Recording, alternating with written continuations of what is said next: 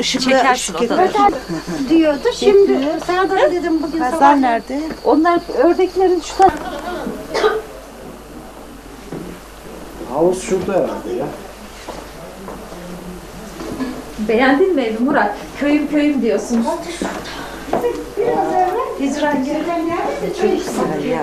Hep sarı alanları ördü falan dikti. Havuzu topraktan yapmış. Şey yapmamış.